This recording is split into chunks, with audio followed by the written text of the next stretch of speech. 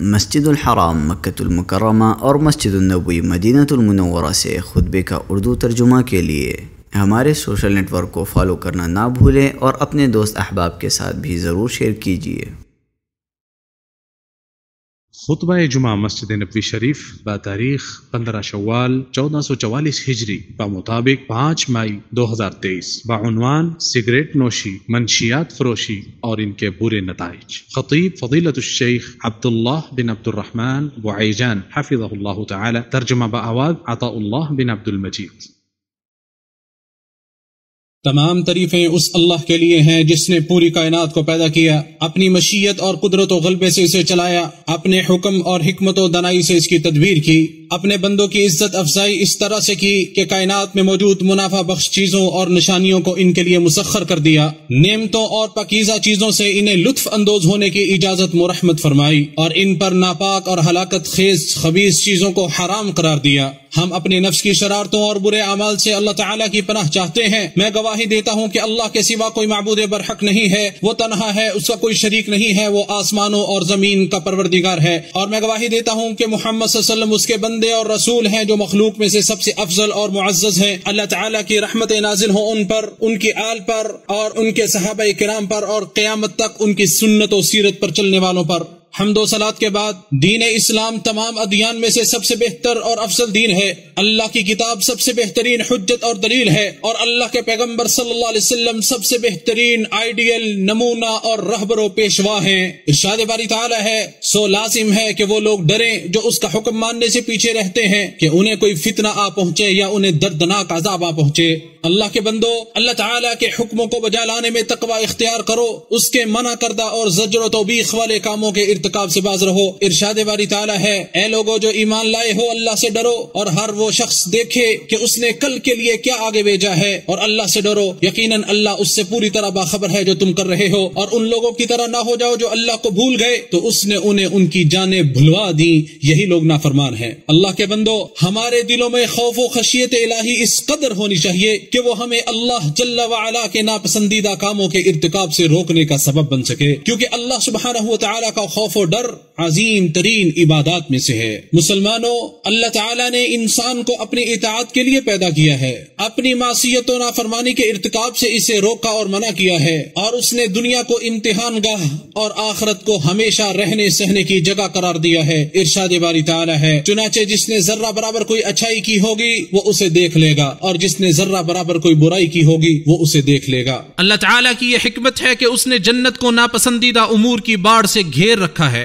जहन्नम को शहवतों और फितनों से घेर रखा है तो जो उस ओट को क्रॉस कर लेगा, वही पसे पर्दा छुपी चीज़ तक पहुँच सकेगा। जैसा कि इरशाद बारी ताला है, और कयामत के दिन तुम अपने बदले पूरे पूरे दिए जाओगे। हर जान ने मौत का जायका चखना है, और कयामत के दिन तुम अपने बदले पूरे पूरे दिए जाओगे। बस जो शख्स आग से दूर कर दिया जाए, और जन्नत में दाखिल कर दिया जाए, बेशक वो कामयाब हो गया, और दुनिया की ज़िंदगी सिर्फ़ धोखे का सामान है। लोगो, जिन बड़े बड़े अहदाफ मकासद और मसाले पर इस्लाम और इसके अहकाम की बुनियाद है, वो ये है। दीन की हिफाजत, इंसान के नफ्स और जान की हिफाजत, अकल की हिफाजत, मालो दौलत की हिफाजत, औलादो नस्ल की हिफाजत। अल्लाह के बंदो यही शरीयत के सतून है। इन्हीं पर शरीयत के अहकाम का दारोमदार है। इन्हीं के ज़रिए किसी चीज़ का हुक्म इसबाब और इल्लतें मालूम की जाती हैं और मोतबर मसलतों और काबिल लिहाज अहदाफ की तयन की जाती है। और जब इस्लाम ने इन्हीं मकासद के अहतमाम और हिफाजत के लिए अहकाम मुकर किए हैं तो फिर हर वो अमल जो इन मकासद से टकराए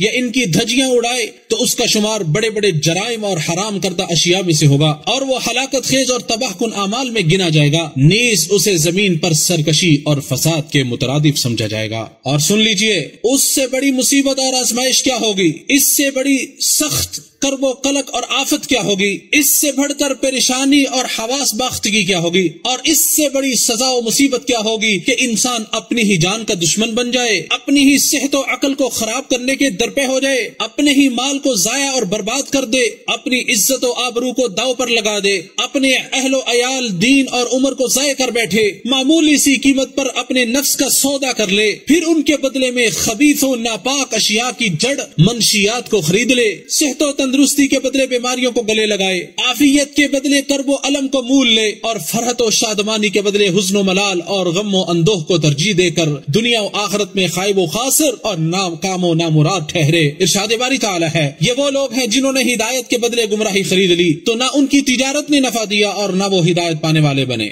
मत रोए मकतूलीन पर और न ही भूखों पर, उन लोगों पर रोए जो मंशियात के बायस जाये हो गए। ऐसी ज़िंदगी से मौत बेहतर जो अकल की हिफाजत न कर सके और जिसकी पुकार पर कान न धरे जाए। बुरा है वो शख्स जो अपने ही जिस्म के लिए मोहलिक चीज़ खरीदता है, और बुरे हैं वो लोग जो मंशियात फरोश हैं और इन्हें तैयार करते हैं। अगर मंशियात के शौकीन जरा गौर करें तो इनमें शरो फसाद के सिवा कुछ नहीं है, जो कि बुरी ही बुरी है, और साथ में तबाही भी है। यह किस कदर बुरी और खतरनाक हवस है कि इसकी वजह से बड़े किले और फ़सलें बुरी तरह तबाह होकर रह जाती हैं। काश तमाम कबाइल मिलकर इसे खत्म करने के दरपे हो जाएँ, कितने कबीले इसी की वजह से फना हो गए, और कितने ही खौफ व दहशत में मुबतला हो गए। लोगों, नशा आवर चीज़ें कातिलो मोहलिक हथियार हैं। तबाह कुन दुश्मन है जो सेहत तंदुरुस्ती, अकलो शूर और एहसास इदराक को बर्बाद कर देती है और नशा करने वाले शख्स को हलाकत और तबाही के दहाने पर खड़ा कर देती है। दुश्मनों ने इस असलहे को इस्तेमाल किया। घात लगाए बैठे बदयानत लोगों को अपना हलीफ बनाया। अहमक नादान लोगों को अपना मुआविन मददगार और दोस्त बनाया। चुनाचे ये लोग इस काम के लिए खूब भाग दौड़ करते हैं। इसकी तरवीज करते हैं, बढ़ चढ़ कर इसकी तिजारत करते हैं, ताकि लोगों की अकलों को खराब कर सके। इनके मुस्तकबिल को तबाह बर्बाद कर सके। दीनी अकदार रिवायात और अखलाकियात को जनाजा निकाल सके।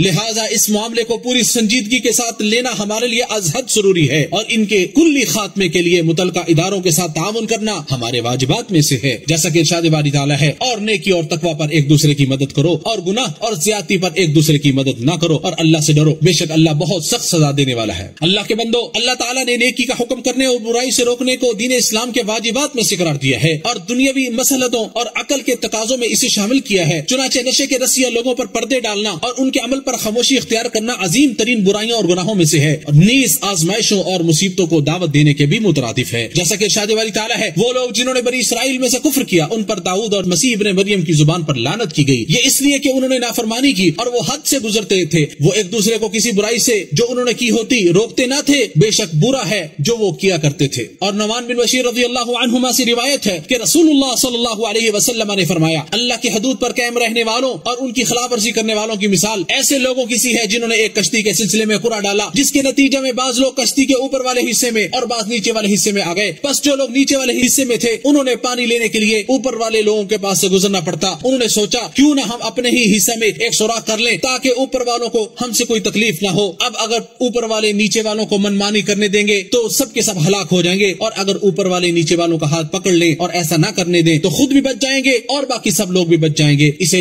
इमाम बुखारी ने रिवायत किया है। लिहाजा नेकी का हुक्म करने और बुराई से रोकने की हिस्स रखो, यही कामयाबी का बायस और इसलाह का ज़रिया है। इशादी वाली ताला है और लाजिम है कि तुम में से एक जमात हो जो नेकी की तरफ़ दावत दे और अच्छे कामों का हुक्म दे और बुराई से मना करें और यही लोग फलाह पाने वाले हैं। अल्लाह मेरे और आपके लिए कुरान करीम को बायस बरकत बनाए, मुझे और आपको इसकी आयात और ज़िक्र हकीम से नफा पहुँचाए। जो मैंने बयान किया, तुमने समात किया। मैं अल्लाह ताला से इस्तीफार करता हूँ। तुम भी उससे इस्तिगफार करो और उससे तोबा करो। बेशक वो बहुत बख्शने वाला मेहरबान है।